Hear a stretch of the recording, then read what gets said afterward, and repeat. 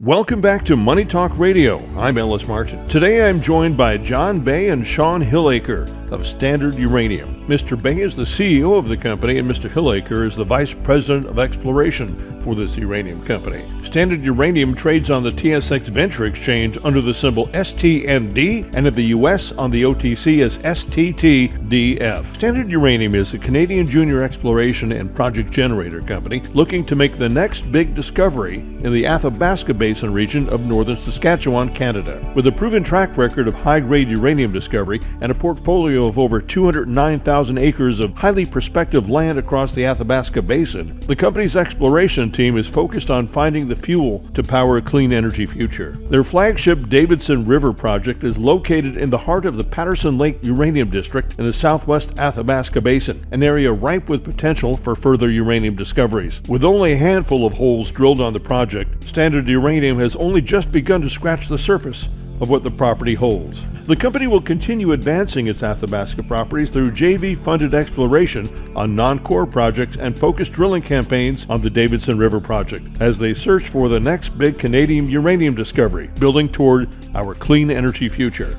Jon, Sean, welcome to the program. Great to visit with you today. Hey, thanks for having us, Ellis. Great to be part of your show today. Give us an overview of the company. I understand you are in Saskatoon, Saskatchewan right now. You're getting ready to go out into the field. Tell us about Standard Uranium. Yeah, thanks. We are in Saskatoon today, and we are a Saskatchewan based uranium exploration company. All our projects, 11 of them, are in the Athabasca Basin. We are a Canadian junior uranium exploration company that has transitioned to a project generator model as well as an exploration company. I was going to ask you about that. It's a very good model to have where you get the JV partners to come in and do most of the spending for exploration and development. And that's what you've done, haven't you? Exactly. So we transitioned last summer. We made the announcement we were making the shift, and we have gone through the process of signing four deals in the past four to six months here, Ellis. It's quite a good model. Ours is quite unique. I'm going to let Sean tell you a bit about what makes our JV model and exploration project generator model different than some of our peers. Okay, go ahead, Sean. Yeah, sounds good. We've been fortunate enough here at Standard Uranium to build out a really competent, young, and hungry exploration team and technical team. So that's something that a company of our size often doesn't really boast, Ellis. So we've been really fortunate to secure a lot of young talent over to Standard Uranium, and that's what sets us apart from other project generators is we have the expertise in-house and the team to make these JV deals turnkey operations. So we stake the land on the cheap, do a little bit of work to get drill targets ready, and we have the team to operate everything. Not only do we vend the project out and create that opportunity in the basin, but we can actually run everything and have all the relationships in place to make that happen, being the vendors, the First Nations, and the technical side of things. When I met you in Washington, D.C. about a week and a half ago, I noticed that, Sean, you are quite young comparatively, at least to me. I won't say anything about Jon.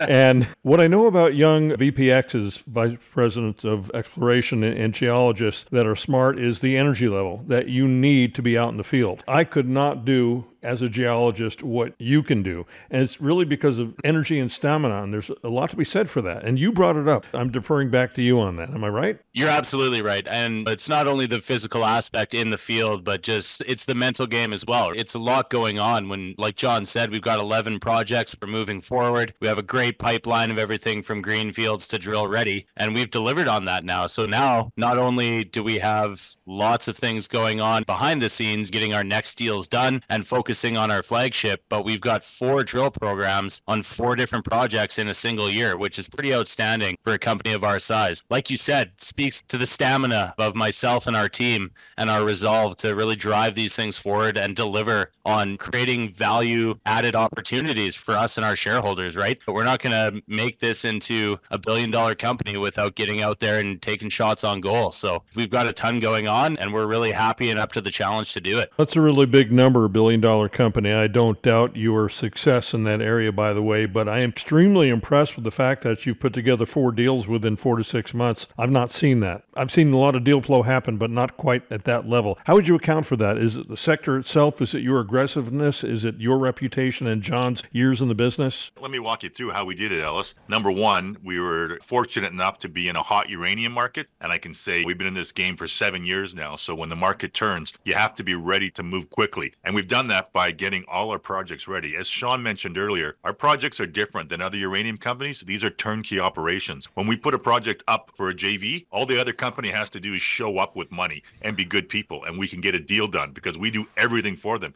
We get the permits done before the JV deal is done. We have the First Nations agreement signed. We have the vendors, the drillers, the helicopters all lined up. We have good projects, and we have the team that actually runs the project from start to finish. So all they need to do is show up, be good people, and we can execute a deal and, and be drilling. The last deal we did, the Atlantic project with ATCO, we met them in January. We signed the deal within four weeks, and we were drilling one week later. That is remarkable. It certainly is remarkable. So you're saying it's your team that's doing all the work for the JV partner? That is correct. And we get paid 10 to 12% of the exploration project to do that. So it's a win for us. We've got our team of geos out there in the field working, and we drive more cash into the company. So you're able to execute quite quickly then? The answer is potentially yes, because we have everything lined up there's a lot of technical teams coming in that might know uranium, they might be brilliant geos, but if they don't have the relationships with the vendors, with the government personnel, with the First Nations, they're not going to get things done and programs completed as quickly as we can because we do have all those boxes checked. In a sense, the answer is yes, we can. No, I'm very familiar with the Athabasca, but let's pretend that our audience doesn't really know it that well and they're hearing about it for the first time. And since there are generalists, not just in the mining sector, but the investment world looking at uranium, looking at clean energy for the first time, why is the Athabasca in Saskatchewan so important?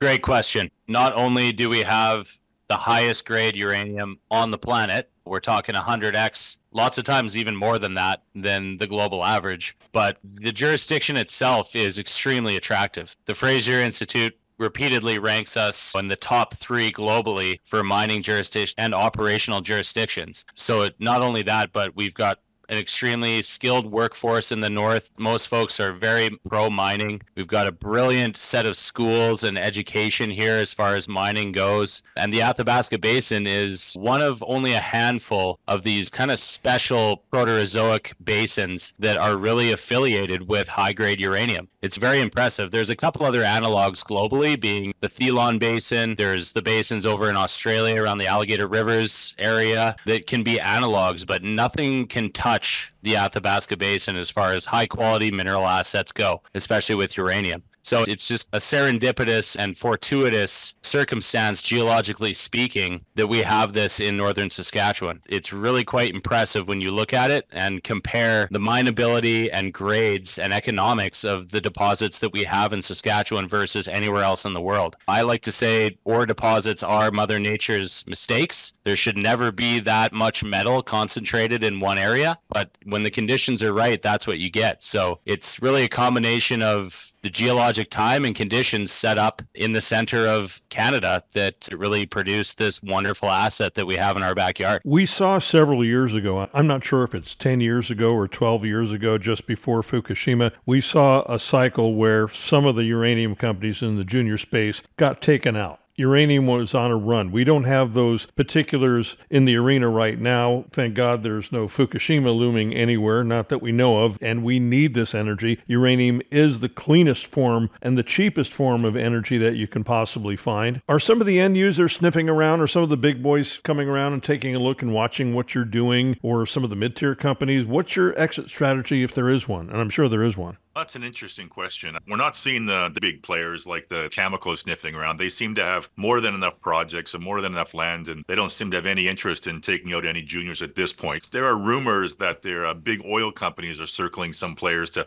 potentially have that entrance into the uranium space. There will be some M&A happening on the mid-tier level. We're starting to see some of that happen across Canada already. But for a company of our size and the company of our peers who are the sub 20 million market caps, we haven't seen that occur yet but I can imagine we're very attractive with the number of projects we have. And should we make a discovery in one of our drill programs, we're probably going to be a huge target on our back for a takeout. Now, that's not our exit strategy. Our exit strategy is to make a discovery and really drill it out and turn it into a resource and see how big we can get it and then sell that project off to a larger player. Our flagship project, Davidson River, sits just to the southwest of NexGen's Arrow deposit. Now, most of us know, and some new to the space are hearing that NextGen is building a mine and a mill there just about to start this year. So should they get that built in the next few years and we make a discovery on Davidson River, we're a huge takeout target, which is a great exit for our shareholders. And we've seen that before, but you're not looking for any exit at this share price. You're counting on the market to perform, and then it'll become more attractive perhaps for you to let go of something. Yeah, exactly. And the way we built the company now with 11 projects, we've set each project up individually that we can do deals and get those done. And we can potentially sell off project by project, which would be ideal for us. We know that one big discovery hole and our share price is pretty much a 10x overnight. We've seen it happen with multiple of our peers in the last few years, so it's a real possibility. Real opportunity for potential shareholders with any of these project takeouts down the road. Exactly. And one of the big things to think about is if you're looking at investment opportunity, you want to look at companies that are actually doing the work, not companies sitting on their hands not getting things done. We've got four drill programs on four different projects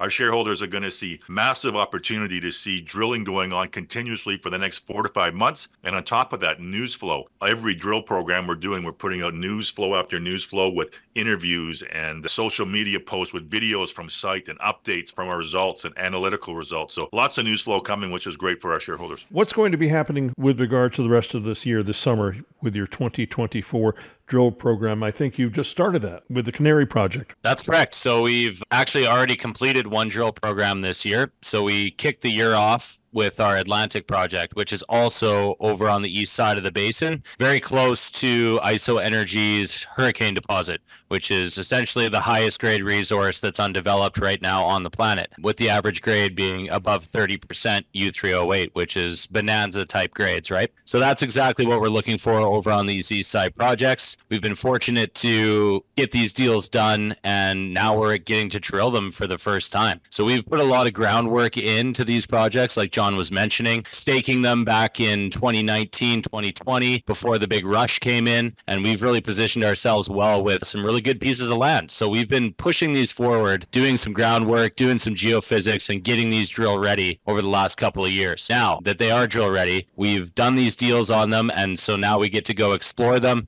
and continue the news flow and take these shots on goal for potential discoveries. So we started the year off with Atlantic. That was a one drill program, about a month long, and drilled over 3,300 meters. So we finished that on time, under budget, five drill holes in a brand new area that we have never tested before. And we came up with sniffs of radioactivity in all five drill holes. So a smashing success, really, when you look at it. So we're really excited to continue moving that forward with our partners at Atco Mining. And then, like you said, Ellis, we just started drilling today on our Canary project, which we're partnered with Mamba Exploration. They're an Australian group. So both these companies I mentioned, they both have the option to earn up to 75% in these projects over the next three years. So these first pass drill programs will satisfy their year one earn in requirements. So this one we just started and that'll take about a month to complete as well. So that'll take us into early June. So look for some more news flow as we continue to progress that program as well as get our final results back from Atlantic. So those will be coming out here in the next few weeks. Jon and I are headed up to site tomorrow to kick off the program and check out the drill and see everybody up there there, we will already have core on the table from our first hole by the time we get up there tomorrow evening. So it's going to be fantastic to get up there and see these rocks and again, a brand new area that's never been tested. Fantastic targets that we've worked out over the last couple years.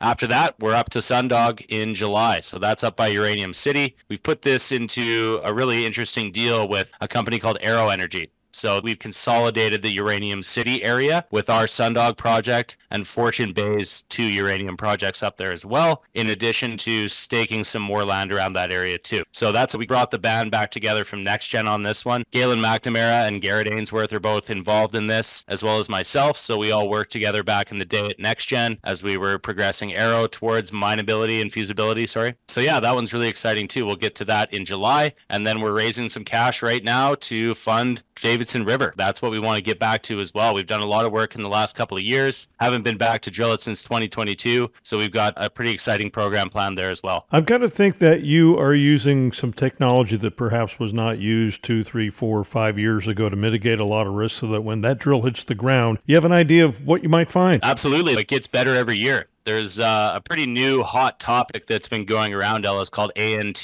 So ambient noise tomography or ANT surveys. So we've seen a lot of companies picking up the mantle on that survey type. It's really interesting. It's essentially showing us and guiding us where to drill along these conductors. Pretty easy to identify your conductor trend, but where might the uranium be? We've got 70 kilometers or more of conductors on Davidson River, for example. So how do we vector in to put that drill where we can increase and de-risk the project to save us those drill holes on vectoring in. So this is a new technology we've been looking at, and we've actually done some AI and machine learning based on the data. So comparing known footprints of deposits in the area using the same data sets over our project to exactly pinpoint where we want to go next. So we've done a lot of that in the background, and that's something we're going to continue to push with these funds that we're looking to raise. You're saving hundreds and hundreds of thousands of dollars doing it that way. I know for a fact. Potentially millions, actually. So it's exciting for us and for our shareholders as well. Tell us about the share structure of the company. That's a good time to be asking today, Ellis, as we just restructured that. So we went from 230 million shares down to 46 million on a five for one consolidation today, which was something that we've been working on for the last year. It was something that some of our shareholders were asking us to do, and some new entrants into the space were requiring that we did it. So